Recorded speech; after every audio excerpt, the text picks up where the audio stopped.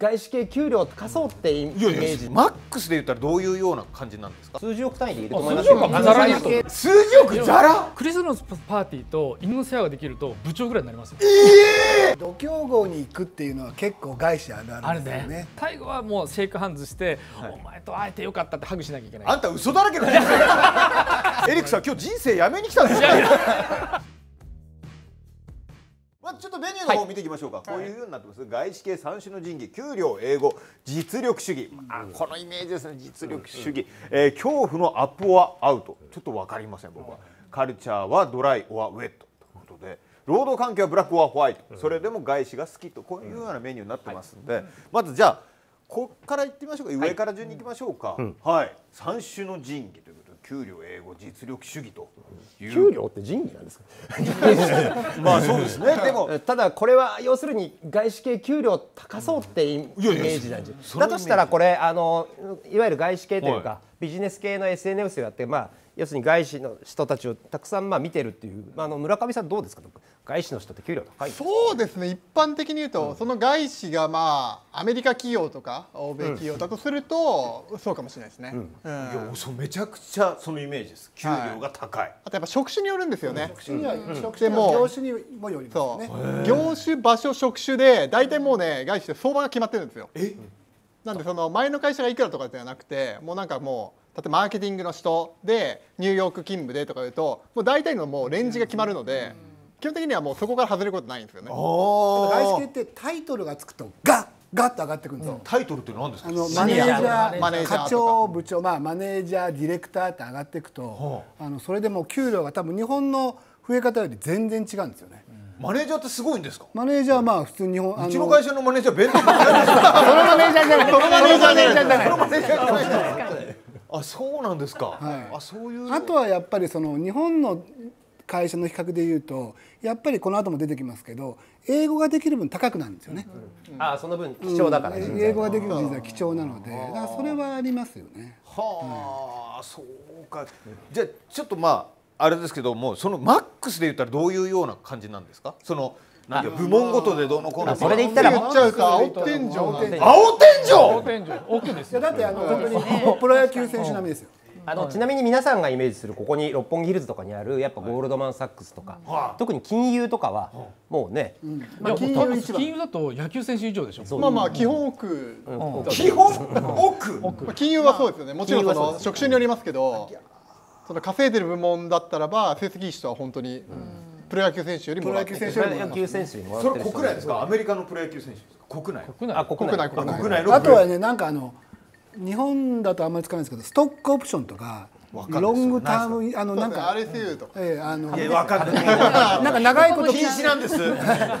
当番組カタカナ禁止。株株あ株。長いこと勤めてると、その株をまあもらえる権利みたいなのを得るんですよね。あなるほど、その会社に長くいるとその権利をもらえるわけですだからお給料よりもそっちの例えば辞める時とか3年経ったそのポジションで3年頑張ったら3年後にキャッシュがバーンと入ってくる。そういうそれが本当にいわゆる、まあ、日本で言ったら取締役とか。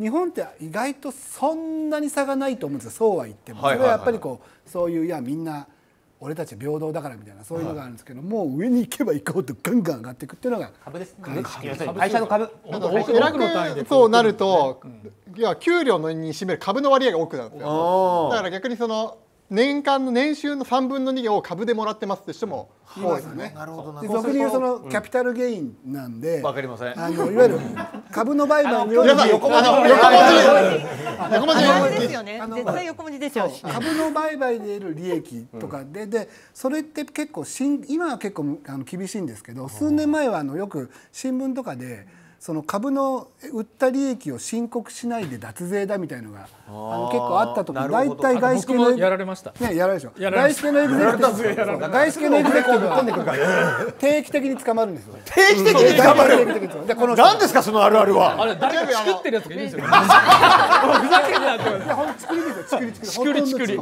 作りでね制度が変わっちゃうんですよ。税制が。税金が今はねあの厳しいちなみにその都市伝説レベルというかその株も全部売ってどれぐらいバチンと一回入った人は過去にいるよっていう金額はどれぐらいなんですか？数十億単位でいると思いますよ。数十億ザラ。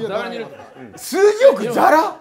いやみみんなそうじゃないですからね。いやいやそうじゃないですけどそのトップレベルで。こっちで言うと多分あのコンサルとか金融は高いんですよ。僕らはもらってました、そう高いし、あとは会社が例えば成長するアマゾンなんて10年前と20ね今だったらこうじゃないですか。はい株でもらってて初期にもらってた分がブブブブブって上がっていくわけですから。わかんないですけど例えば僕がはいアマゾン1年目にいました、はいはいそして今ある程度までこうね上り詰めてやめますってなったらいくらぐらいもらえるんですか僕みたいなまず1年目で株もらってるの大変ですよ、いや10年前だったら大変だと。10年経ちましたはいやめますってなったらも2桁億ですよ普通まあただその10億もらったなんらで吉本選んだの？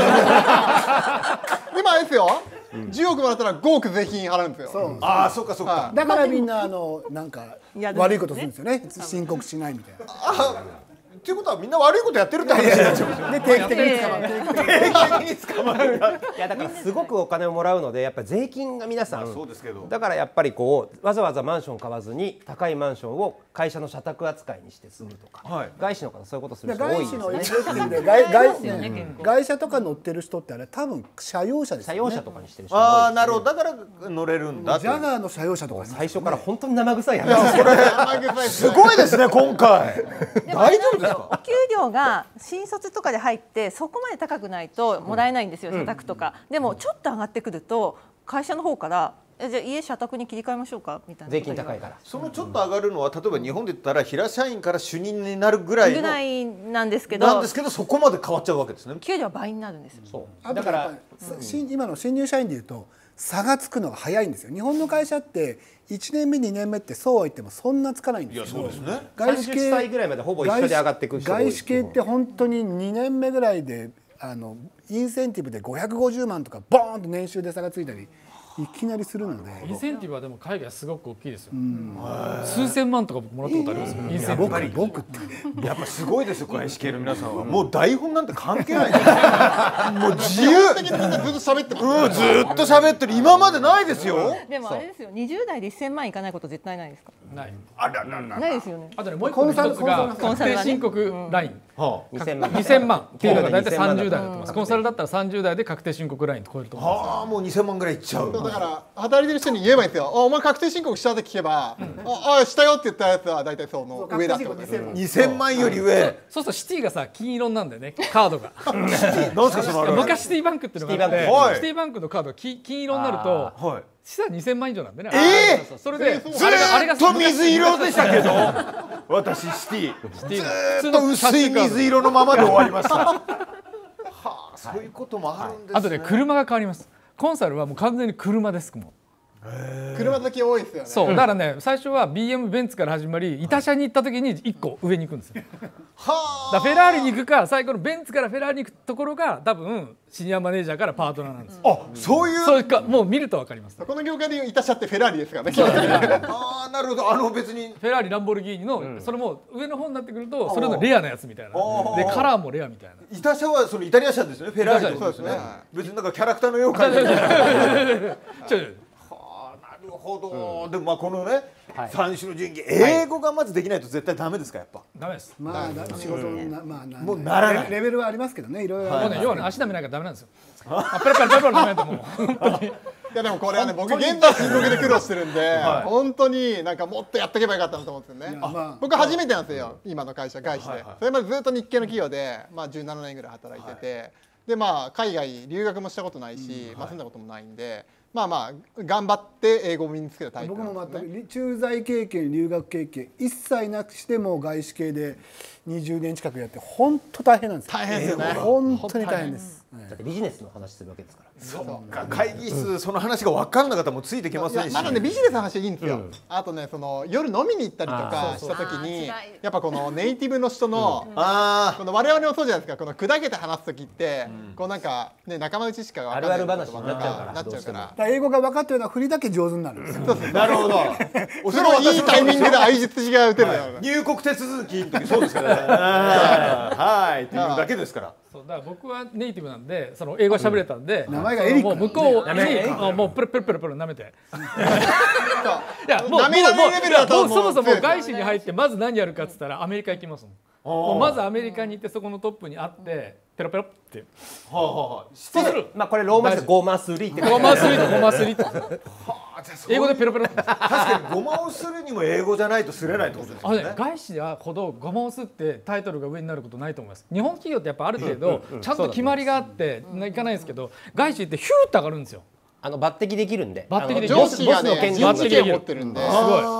あお前あげるって言ったらその人が決められるんですよね。なるほど。権限以上が進んでなるほど。意外と外資の方がよりごますりがっていう。今の話だとこの実力主義というところにつながるんですけどよく外資に行くと日本企業みたいに上司になんかこう媚びを売りたくないみたいな人が結構外資に行くんですよ。逆逆いや知りませんよと。俺は自分でやってきます。であれ逆ですよね。逆です。あのねすごい話があって、あの結構某結構有名会社なんですけど、まあ日本人日本の社長って海外から来るわけですよ。はい。ね、そうすると海外で来た外人が一番何心配するかっていうとアメリカに帰った時に犬がいるじゃないですか、犬って行けないんですよ向こうに。簡単に、だから犬の面倒見てくれる人必要でしょ。はい。であとクリスマスのパーティーがでかいんですよ外資って、クリスマスパーティーと犬の世話ができると部長ぐらいになりますよいやマジで。嘘でしょ？いやマジマジマジ。この人も今外資じゃない。から言いたい放題。ぶっちゃけ言いたい放題。会社によります。会社により会社によるが本当会社による。全くの嘘ではない。とこんなのね今の会社の社員に聞かしたらもうね大変なこともうエリックさん辞めたからやだよ俺。いやもう部長を見ちゃうと。はっきり言っておきますけど会社により会社による会社会社にいます。すべての会社じゃございませんってもう注釈やってます。僕はもう声を大にしていそう。ますからちなみにそれは元あの通信のバカでかい企業の話ですけどまたな犬散歩してこのねクリスマスのこの帽子かぶってる感じ。年間の仕事それだけですから。年間の仕仕事それだけ？クリスマスのパーティーと犬の世話。それで数千万の給料エリックさん今日人生やめに来たんですよ。すごいですよ。一応まだ教授もやってるんですよ。今の海外から来た社長の話で言うと、結局彼らは日本で手柄を立てたいわけですよ。要するには日本に、まあ、あの結構大きい会社であるのは日本っていう得意なでも結構大事なマーケットでいかに実績を作るかっていうことは本社に行ってから出世コースのキュッキュッてなるかならないか、そうすると彼らは何とかして日本で実績を作りたいと思うんですよね。そうすると彼らの在任中に実績を出したいと思うから結構短期的になる嫌いが若干あるんです、ね。なるほど。俺がいるうちにやりたいというのがあるんでだからそこはちょっとあの多少鼻につく部分はあったりしあと前任者とコロコロ方針が変わったなるほど。りとか真逆を取ったりする可やったり能性も。することはありますよね。ちなみに木川さんいかがでしょう？はい。そうですね。まあうちは犬の世話はなかったですけど なんも。かもうそう言われちゃうといやーねまあね、はい。まあとまあとは言ってもやっぱりついた上司がもう例えばアメリカ人だったらもうあ私はアメリカ人だったんですけど、最初に。めちゃくちゃやっぱ英語勉強しましたし、でまああとやっぱ結構英語至上主義なんですよね。で例えば私台湾に転勤に行くことになったんですけど中国語一言も喋れないんですよ。で喋れないんですけどって言ってもいや大丈夫英語だからって言って。台湾に転勤してるのに一言も中国語喋んなくていいか仕事環境なんですよ。要はそこにいる人々は全員英語で喋ってる。英語でやんないとというその資本だから、はあ。ちなみにこれなんですか？恐怖のアップはアウトっていうのは これはあの多分ねあのコンサルのこのコンサル二人が。あるある。ちょっと木川さんですね。お聞きしたいんですけど。まあ、あのアップアウトって要はあのポジション上げていくかあの退職するかってことなんですよ。アウトって退職なんですよ。アップかアップって要するに昇進。昇進。出世するか？で出世するか？アウトだから出てくる。そう要は昇進できなかったら出てキープはないですか？キープはないです。日本はキープじゃないですか。はい。昇進できなかったらまあ次まで頑張ってみたいな、まずクビにならないですかね基本的に。あのそうですね。あそうですね。日本だとね、もうで本当はクビにしちゃいけないんだけど、でもまあなんかこうシステム上そうなってて、要は昇進の機会が例えば皆さんも多分年に1回とか2回とかあるじゃないですか、評価し、ありますますと。でそこでアップできなかったらもうイエローカード来るんですよ。リアルに。イエローカード。イエローカーカード。ああと一回ダメだイエローカードは1回しか出ないから次にレッドカードが来たらアウトなんですよ。完全に、でもそれもやらしく言われるんですよね。要は、あの解雇しちゃいけないんで。ね。うん、君は実力がないからうちには向かないと思うよって言われるわけです。日本って日本のあの労働法に言うと解雇っていうのは一方的に労働契約を破棄するんです会社側が、はい。い、わゆるクビって。やつでもこれって法律で言うとあの事業を畳むか悪いことするかしかないので実質的には業績悪いから解雇になるってないんですね。なるほど。日本の法律は。国内の企業では。はいはい。あの、はい。外資系でもそうです。日本でビジネスやってる会社はみんなそうで。でもう一個はその普通にて僕辞めますって労働者側が契約を一方的に破棄する。これは別に許されてるわけです法律だ、でこの真ん中に、はい。ちょっと人事っぽいなんかすごい人に見えるすごい人事。この人事だからご専門ですから。そう。この真ん中に合意解約っていうのがあるんですね。合意解約。それは会社があなた今聞かせあなた辞めてくれないっていう。はでかい受ける方がなるほど。しゃあないな。だったら辞めますわ。でサインをする。なるほどなるほど。ってことは合意解約。だったら辞めますわがないと辞めれないってことは納得する何かがないといけないわけですよ、ね、なるほど。金ですよ要するに。ああなるほど。こうやみたいなまあ。ね金積むからやめてくれとってことですね。だからそこはねコンサルとちょっと違うんですよね、うん。コンサルタントってスーパーエリートが集まってるんですよ。エリートって負けたことがないんで、自分で辞めていくんですよ。そうですなるほどやばいとなると。あのプライドが許プライドが許ささないんですよ。その自分が評価されてないって言われるんだったら自分から辞めてっちゃう。プライド解約。プライド解約。レッガイド解約っていうのがあるんですね でも確かにレッドカード出る前に辞める人とかいっぱいいるんですよ。のが多いですねコンサルであとねその解解雇する権限が結構下の方でもあるんですよ多分日本だったらないですよね全然その解雇っていうのは、例えば日本の会社だったら1年目2年目まあある程度ミスしますしそんなに成績を収めれないパターンもありますよね。でもそれでもまあイエローも出ないじゃないですか。まあまあまあこういうのも経験だから。っていうのは意外と外資系にはないってことです。外資系っていうかコンサルはないです。ね。まあ、そもそもそういう会社で働いてるっていうので来てるので、まあやっぱりアップしなかったら出なきゃなっていうふうに思って働いてる部分もあるんですよね。あとね吉村さんこの話聞くと外資系怖い。厳しいって思うじゃないですか。怖いですよ。でも逆を言えばですよ日本の会社クビにできないんですよ。そうなると上司は何をするかって言ったらパワハラになるんですよ。要するにクビにできないからこうすごくこうちょっとちょっとなんか嫌がらせしちゃうんですああそれがそういう原因になってるわけですね。でちなみに言うと外資はパワハラめちゃくちゃうるさいです。